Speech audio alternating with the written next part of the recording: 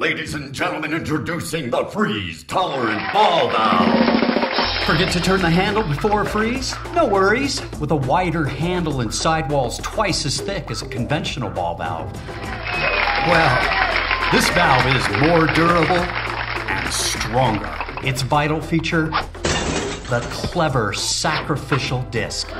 If the valve freezes, the disc breaks, not the valve.